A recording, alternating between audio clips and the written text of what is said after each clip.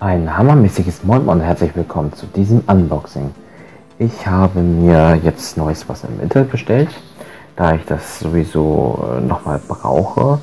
Ähm, und zwar ein, äh, eine Smartphone-Halterung, um das Smartphone auf den Kamerastativen zu befestigen. Ähm, bestellt habe ich das äh, ShoulderPod äh, äh, S1 und ähm, ja, ich wollte das heute eigentlich einfach mal mit euch zusammen auspacken. Und ähm, ja, gehabt habe ich das schon mal. Leider ist mir das abhanden gekommen. Äh, und jetzt äh, ja, habe ich mir jetzt nochmal bestellt, weil ich damit sehr zufrieden war. Gut, fangen wir mal an. Nehmen wir mal mein Unboxing-Messer und schneiden wir es mal auf. So, beiseite gelegt. Ähm, so kommt es daher. Ähm, das packen wir erstmal beiseite. Dann haben wir hier ein Vollmetallgewicht äh, ähm, und beziehungsweise ein Griff. Und das eigentliche Hauptteil, ähm, diese Halterung hier.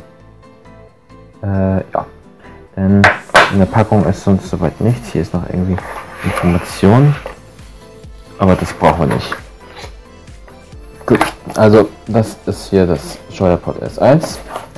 Ähm, da sieht man es auch nochmal, wie man das zu befestigen hat.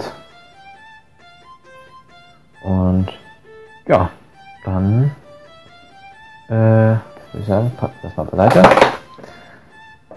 Gut, also wir haben hier das Teil.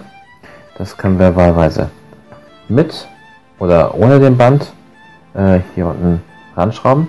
Das ist eine 3 Achtel Zoll äh, ähm, Stativgewindeschraube.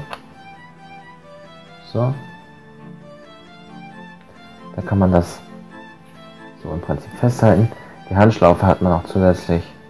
Und ähm, ja, äh, dann kann man hier oben am Rad drehen da drin ist eine Feder, die schiebt das jetzt Stück für Stück hoch, wenn man das mal hier äh, äh sieht. Gucken, wie die Beleuchtung. Genau. Hier dreht man dran und es wird immer höher.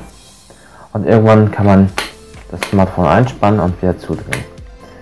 Ja, gut. Ich würde sagen, das war's soweit fürs Erste. Achso, ähm, ich habe hier glaube ich noch ein kleines Mini-Stativ. Genau. Ich mal kurz zeigen. War laut. Glastisch. Dann dreht man das einfach hier drauf. Fertig. Dann hat man schon ein kleines Mini-Stativ. Gut, ja.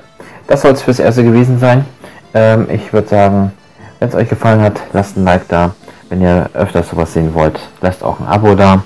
Würde mich freuen. Und ähm, ich hoffe, mein erstes Unboxing hat euch gefallen. Gut, damit verabschiede ich mich und ich sage bis zum nächsten Mal. Ciao, ciao.